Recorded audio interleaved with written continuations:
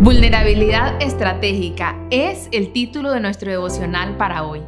Pongan mi yugo, déjenme enseñarles, porque yo soy humilde y tierno de corazón, y encontrarán descanso para el alma. Mateo 11, 29. Hace unos días un conocido publicó en las redes sociales uno de esos comentarios victimistas diseñado para cosechar simpatía. Pensé en ignorar el comentario, pero finalmente decidí enviarle un mensaje al privado. Quería asegurarme de que se encontraba bien, pero sin jugar el juego de las redes sociales. Creo que no todo debería estar en redes sociales, no todo debería ser público. La cultura en la que vivimos valora, mucho la autenticidad. Sin embargo, hay una gran diferencia entre la vulnerabilidad y entre la autenticidad, o quizás en la sobreexposición. La sobreexposición no busca una conexión con los demás, lo cual demanda tiempo y esfuerzo, sino solamente la atención.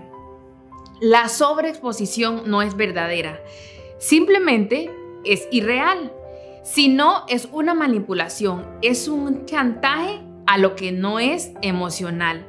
La escritora estadounidense Brown lo explica de esta manera. Usar la vulnerabilidad no es lo mismo que ser vulnerables, es lo opuesto, es una armadura.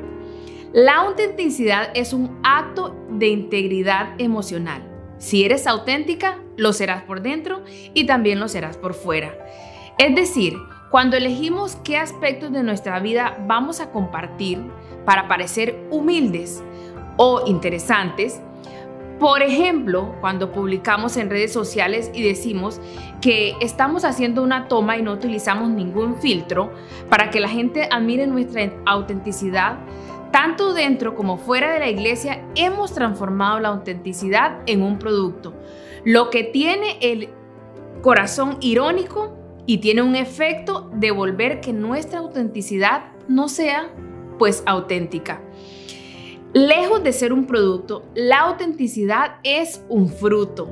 Es un fruto que crecerá probablemente y crecerá progresivamente, mientras que nos mantenemos conectadas a la vida.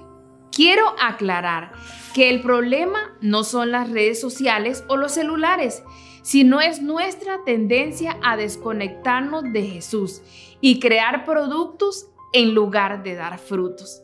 Sin Él la sobreexposición o la vulnerabilidad estratégica nos resultan más sencillas.